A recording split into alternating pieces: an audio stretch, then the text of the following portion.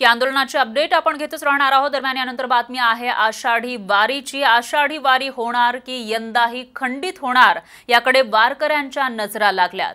पंढरपूरमध्ये श्री विठ्ठल रुक्मिणी देवस्थान समितीची आज महत्वाची बैठक होणार आहे. आज दुपारी बारा वाजता ही बैठक होणार आहे. बैठकीमध्ये वारीचा प्रस्ताव सरकारला पाठवण्याबाबत चर्चा करण्यात येणार आहे. उपमुख्यमंत्री अजित पवार यांच्या उपस्थितीमध्ये मानाच्या पालखी सोहळा प्रमुखांची बैठक झाली होती. या बैठकीत नियमांचं पालन करून पायी वारी काढण्याची भूमिका पालखी प्रमुखांनी मांडली होती. त्यामुळे आजच्या बैठकीमध्ये काय निर्णय होणार याकडे तमाम वारकरी संप्रदायाचं लक्ष लागलंय. आजच्या बैठकीकडे वारकऱ्यांच्या नजरा लागलेल्या आहेत कारण या बैठकीमध्ये नेमका काय निर्णय होतो? मागच्या वर्षीप्रमाणे यावर्षी सुद्धा आषाढी वारी ही मर्यादित स्वरूपामध्ये साजरी होणार की यावेळेला परवानगी मिळणार ते पाहणं महत्वाचं असेल.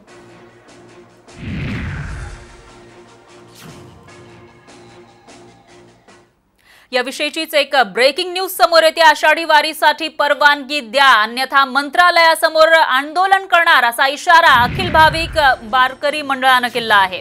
मुख्यमंत्री उद्धव ठाकरे आणि उपमुख्यमंत्री अजित पवारांना याबाबत ईमेलद्वारे निवेदन सुद्धा देण्यात आलंय. सरकारनं वर्षानुवर्ष चालत आलेल्या आषाढी वारीला परवानगी देऊन परंपरा सांभाळायला मदत करावी अशी विनंतीही या ईमेलद्वारे करण्यात आलेली आहे. आताची ही सगळ्यात मोठी आणि महत्वाची बातमी आपण बघू शकतोय. एकीकडे बैठक होणार आहे त्यामध्ये याविषयीचा निर्णय होणार तर दुसरीकडे वारकऱ्यांनी सरकारला इशारा दिलाय. राजकीय सगळ्या घडामोडी चालतात त्यामध्ये कोरोना होत नाही. आणि वारी व्हायला लागल्यानंतरच कोरोना होतो का? आम्हाला कोरोना नाही असं आमचं म्हणणं नाही. पण कोरोनाचे जे नियम अटी आहेत सोशल डिस्टन्सिंग असेल मास्क असेल सॅनिटायझर असेल शासनानं नियम अटी घालावे आणि परंपरा सांभाळण्यासाठी आम्हाला मदत केली पाहिजे अशा पद्धतीचा प्रस्ताव आम्ही मान्य मुख्यमंत्र्यांच्या समोर पाठवलेला आहे.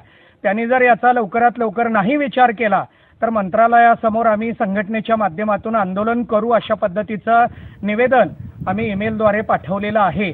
याचा त्यांनी विचार करून लवकरात लवकर हा निर्णय जाहीर करावा अशी आम्ही विनंती केलेली.